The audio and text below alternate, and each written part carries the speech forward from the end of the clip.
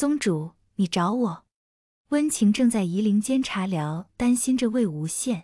他这双手从来都是只救人不杀人，可是这次却毁了一个少年前途光明的未来。正想着，温家来人说宗主找他，还以为是宗主又因为练功而心神震荡。可是进入不夜天后，看到宗主好好的站在那里。既然宗主没事，那找他有什么事呢？温情，快快快！看看这小子怎么样了？医师说他命不久矣。温若寒看到温情，马上让他进来，来到魏无羡的床边。魏无羡，你认识他？哎呀，先别管那么多了，快给他看看吧。医师说他现在的身体已经破败不堪，金丹也不知道被哪个王八羔子给剖了，回头慢慢算账。温情听到温若寒的话，身体一僵。尤其是听到那句金丹也不知道被哪个王八羔子给剖了，脸上已没有丝毫血色。他稳住身形，决定先给魏无羡看看，把了把脉。把完脉后，他的手都是颤抖的。怎么会这样？虽然是他剖了魏无羡的金丹，可是也做过很好的处理。魏无羡的身体怎么会搞得这么差？他出了监察寮后又遇见了谁？发生了什么？还有江婉银，他难道没发现魏无羡的身体状况很不好吗？他们不是一起长大的好兄弟吗？怎么样？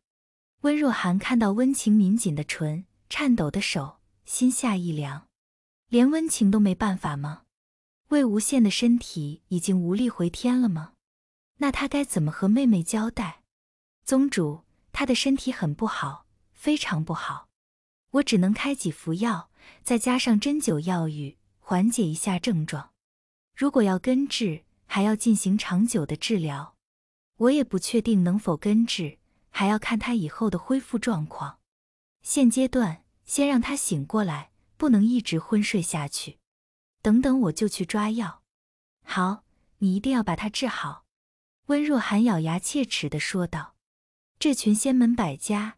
到底是怎么对待战场上帮他们杀敌的英雄的？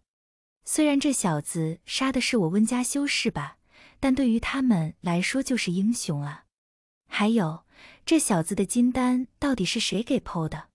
我温家的画丹手也只是会画丹，到底是谁那么缺德？别让他带到，否则把他碎尸万段都难消他心头之恨。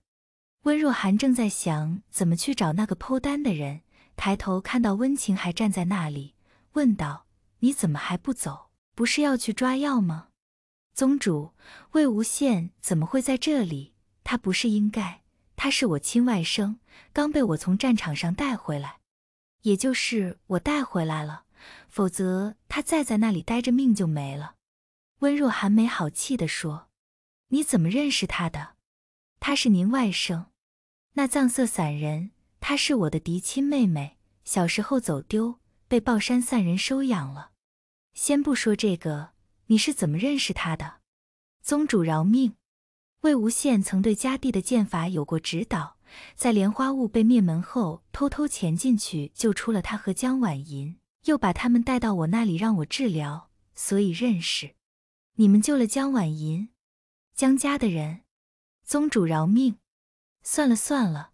看在你们也救了这小子的份上，我就先不计较了。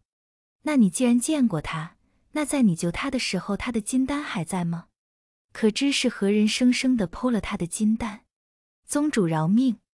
我救他的时候，他的金丹还在，并且并且有话就说，你是不是知道他的金丹是谁剖的？宗主，他的金丹就是我亲手剖的。什么？温若寒大怒：“你不是救了他吗？为什么要生剖他的金丹？难不成你是想让他求生不得，求死不能吗？那江婉银怎么没事？不是，我既救了他，断不会害他。他的金丹是他求着我剖下换给江婉银的。他说江婉银没有了金丹不行的。他说江婉银没有金丹活不下去，而他还可以走别的路。”他求着我剖的，我也不想的。什么？为了江婉莹，他求着你把他自己的金丹剖下？温若寒这次是真的站不住了。这小子不是在世家长大的吗？身体发肤受之父母，这么简单的道理他不懂吗？他怎么敢？他对得起给他天赋的爹娘吗？温若寒决定等他醒来好好的问问。行了，你走吧，去给他抓药。江家，江婉银，你们等着。魏无羡好惹，他温若寒可不是好欺负的。在魏无羡被温若寒带走之后，百家营帐彻底乱了。魏无羡竟然是温若寒的外甥，那这场射日之争还怎么打？还能怎么打？温家才是魏无羡的家，现在他不帮着温家打我们就不错了，我们怎么可能还让他帮着我们打温家？我们射日是因为正义而战，他身为正义之士，大义灭亲又有何不可？况且。他又不是在温家长大的，可那毕竟是他的家啊！江婉莹听着百家的话，怒极：魏无羡居然是温家的人，哈哈哈！怪不得会那种邪魔外道。温家残暴不仁，他学习邪魔外道，真不愧是一家人。他就应该用他的修为帮助我们杀了温家的所有人，然后自裁。这种邪魔外道、仙门异事，如何能容忍？对呀。江宗主说的对，虽然是和那魏无羡一起长大，却很有侠义之气，不愧是老江宗主的儿子啊！江婉莹听到众人的夸赞，不由得挺直了腰板。一个邪魔外道、仙门正义之士，岂能容的？他若听话，就留他个全尸；若不听话，我们既是来射日的，那把他魏无羡一起灭了，又有何不可？江宗主大义。现在百家随声附和道：“所有人完全忘了，现在这几场战争的胜利，全都仰仗他们口中邪魔外道的诡道术法。他们都忘了在魏无羡加入射日之争前的战况，也忘了温若寒带魏无羡走之前留给他们的最后一句话。谁都没有看到蓝忘机藏在广袖里渐渐握紧的拳头。魏无羡在不夜天昏迷了三天三夜。”这三天中，温若寒基本上天天在魏无羡的床边陪着他，甚至把岐黄一脉召回了本家。一来是让温情能随时注意到魏无羡的情况，方便他治疗；二来是因为听温情说他弟弟温宁和魏无羡交好，想让温宁陪着魏无羡说说话，想着能不能让他早日醒来。仙门百家在这三天里继续他们的射日之争。不样的是，除了江婉银带的队打了胜仗，他们再没有赢下任何一战。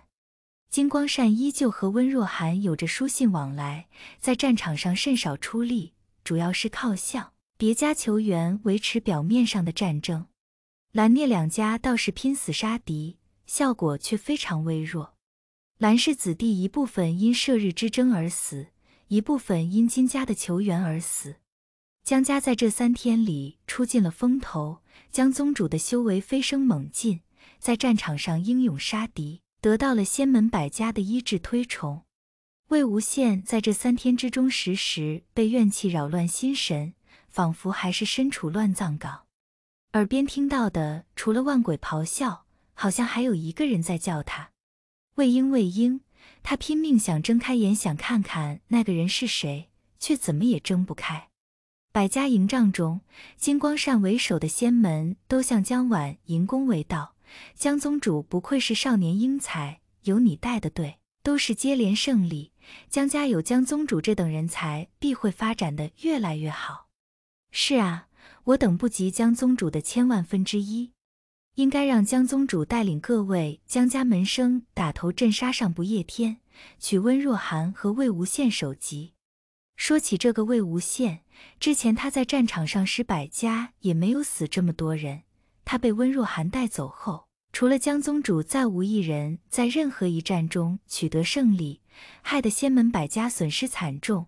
尤其是蓝聂两家，